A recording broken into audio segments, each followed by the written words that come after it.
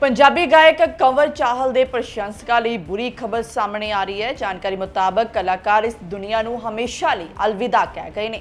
ਉਹਨਾਂ ਦੇ ਦੇਹਾਂਤ ਦੀ ਖਬਰ ਨਾਲ ਪੰਜਾਬੀ 뮤직 ਇੰਡਸਟਰੀ ਵਿੱਚ ਸੋਗ ਦੀ ਲਹਿਰ ਦੌੜ ਗਈ ਹੈ। ਦੱਸ ਦਈਏ ਕਿ ਸ਼ਹਿਨਾਜ਼ ਗਿੱਲ ਨਾਲ ਮਾਝੇ ਦੀ ਜੱਟੀਏ ਤੋਂ ਇਲਾਵਾ ਉਹਨਾਂ ਗੱਲ ਸੁਣ ਜਾ ਤੇ ਇੱਕ ਵਾਰ ਵਰਗੇ ਕਈ ਗੀਤਾਂ ਨਾਲ ਪ੍ਰਸ਼ੰਸਕਾਂ ਦਾ ਮਨੋਰੰਜਨ ਕੀਤਾ। ਖਬਰਾਂ ਮੁਤਾਬਕ ਅੱਜ ਕੋਟਾ ਕਲਾਂ ਦੇ ਨੇੜੇ ਭੀਖੀ ਵਿਖੇ ਕੰਵਰ ਚਾਹਲ ਦਾ ਅੰਤਿਮ ਸੰਸਕਾਰ ਹੋਏਗਾ। ਕੰਵਰ ਚਾਹਲ ਦੀ ਮੌਤ ਕਿਵੇਂ ਹੋਈ, ਇਸ ਬਾਰੇ ਅਜੇ ਤੱਕ ਕੋਈ ਜਾਣਕਾਰੀ ਸਾਹਮਣੇ ਨਹੀਂ ਆਈ ਹੈ, ਪਰ ਕਲਾਕਾਰ ਦੇ ਦੇਹਾਂਤ ਦੀ ਖਬਰ ਨੇ ਪ੍ਰਸ਼ੰਸਕਾਂ ਦੀਆਂ ਅੱਖਾਂ ਵੀ ਨਮ ਕਰ ਦਿੱਤੀਆਂ ਨੇ। ਇਹ ਪੰਜਾਬੀ ਸੰਗੀਤ ਜਗਤ ਲਈ ਬਹੁਤ ਵੱਡਾ ਘਾਟਾ ਹੈ। ਪੰਜਾਬੀ ਗਾਇਕ ਕਵਰ ਚਾਹਲ ਦੇ ਪ੍ਰਸ਼ੰਸਕਾਂ ਲਈ ਬੁਰੀ ਖਬਰ ਸਾਹਮਣੇ ਆ ਰਹੀ ਹੈ। ਸੋ ਦੱਸ ਦਈਏ ਕਿ ਕਲਾਕਾਰ ਇਸ ਦੁਨੀਆ ਨੂੰ ਹਮੇਸ਼ਾ ਲਈ ਅਲਵਿਦਾ ਕਹਿ ਗਏ ਨੇ। ਪੰਜਾਬੀ ਗਾਇਕ ਕੰਵਰ ਚਾਹਲ ਦੇ ਪ੍ਰਸ਼ੰਸਕਾਂ ਲਈ ਬੁਰੀ ਖਬਰ ਸਾਹਮਣੇ ਆ ਰਹੀ ਹੈ। ਜਾਣਕਾਰੀ ਮੁਤਾਬਕ ਕਲਾਕਾਰ ਇਸ ਦੁਨੀਆ ਨੂੰ ਹਮੇਸ਼ਾ ਲਈ ਅਲਵਿਦਾ ਕਹਿ ਗਏ ਨੇ।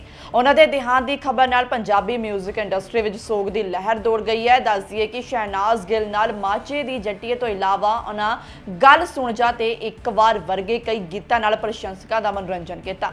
ਖਬਰਾਂ ਮੁਤਾਬਕ ਅੱਜ ਕੋਟਾ ਕਲਾਂ ਦੇ ਨੇੜੇ ਭੀਖੀ ਵਿਖੇ ਕੰਵਰ ਚਾਹਲ ਦਾ ਅੰਤਿਮ ਸੰਸਕਾਰ ਹੋਏਗਾ। ਕੰਵਰ ਚਾਹਲ ਦੀ ਮੌਤ ਕਿਵੇਂ ਹੋਈ, ਇਸ ਬਾਰੇ ਅਜੇ ਤੱਕ ਕੋਈ ਜਾਣਕਾਰੀ ਸਾਹਮਣੇ ਨਹੀਂ ਆਈ ਹੈ, ਪਰ ਕਲਾਕਾਰ ਦੇ ਦੇਹਾਂਤ ਦੀ ਖਬਰ ਨੇ ਪ੍ਰਸ਼ੰਸਕਾਂ ਦੀਆਂ ਅੱਖਾਂ ਵੀ ਨਮ ਕਰ ਦਿੱਤੀਆਂ ਨੇ।